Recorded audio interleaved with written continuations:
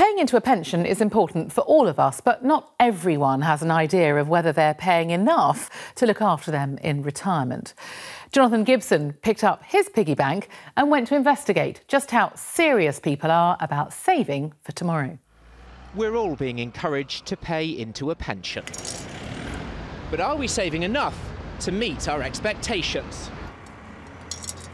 I've brought my piggy bank onto the streets to see how seriously we're saving for retirement. For this group just starting their careers, it feels like a long way off. Have any of you got pensions? Yeah, yeah, I pay into one only on a part-time basis though. So um, I work at agency. Um, that's that's really it. I don't pay that much.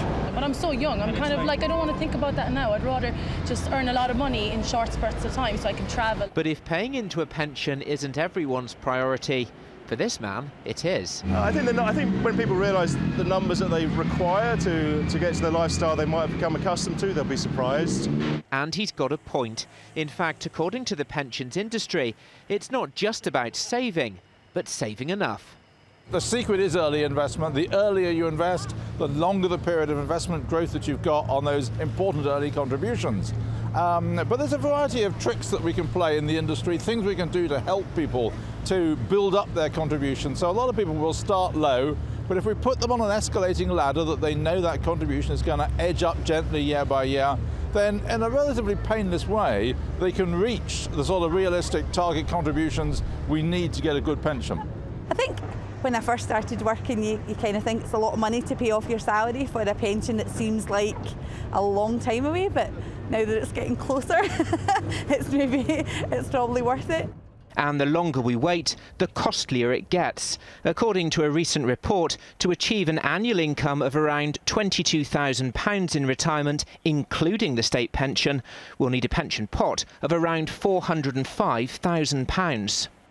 You've been saving, what, five or six years? Five or six years. Mabel Ombu is an accountant, so she's used to dealing with figures. And do you know how much you're saving in that pension? No, my manager takes care of that. And like so many of us, Mabel doesn't know if she's paying in enough to match her expectations in retirement. I haven't even thought about it yet. Uh, maybe I'll think about it in the next 20 years or so. I'm not really like because my manager takes care of everything, so I don't really. I'm not even. Normally they give us like the reports every quarter, but I don't even look at it. I just I don't know. So you know you've got a pension, but yeah. that's about it. That's about it. Yeah, that's it. I think people do need to regularly review uh, their pensions. People will get pension statements, so you know don't don't just put it on the mantelpiece. Don't just shove it behind the clock on the mantelpiece. Make sure if you get a pension statement, you look at it. You go and ask your scheme about it. You go and ask your employer about it. You ask your trustees about it. Um, you ask your friends and family about it. Advice aimed at helping us to see the wood from the trees, so there's no nasty shock when we reach retirement.